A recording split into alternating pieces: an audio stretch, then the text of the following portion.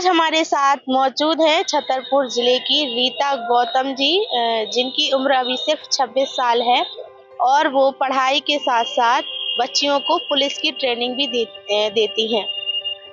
ये जिन बच्चियों को ट्रेनिंग देती हैं वो बच्ची बारहवीं के बाद यहाँ आकर ट्रेनिंग ले सकती हैं।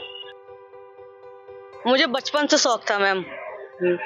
तो मैं फिर कानपुर से छतरपुर आई। छतरपुर में फिर मैंने बच्चों को देखता, ऐसे घूमने स्टेडियम आया करती थी तो मुझे भी लगता था मैं भी कुछ करूँ। मेरे पेरेंट्स गाँव घर के थे, मुझे ज़्यादा पढ़ाने की ज़्यादा मतलब वो नहीं थी। मैंने भी दसवीं पास किया था। बीच में मेरी पढ़ाई छूट गई थी कुछ पैसों के कारण, घर की स्थितियों के कारण।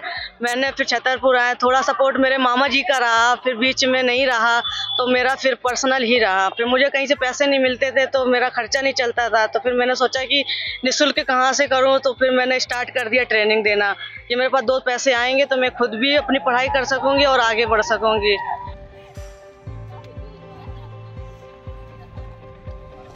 जब आप कहीं सीखती होंगी तब वहाँ पैसे लगते थे तो कैसे जहाँ पे मैं सीखती थी तो वहाँ पे मैंने शुरू से मैम कोई पैसों के कारण मैंने फ्री कोचिंग करी है।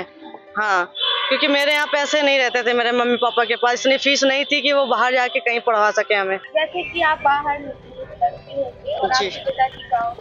जी।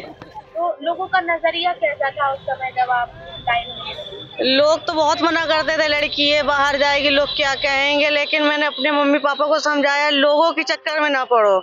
लोग तो कुछ भी कहते रहेंगे लेकिन मुझे करना है। मुझे पुलिस बनना है तो बनना है।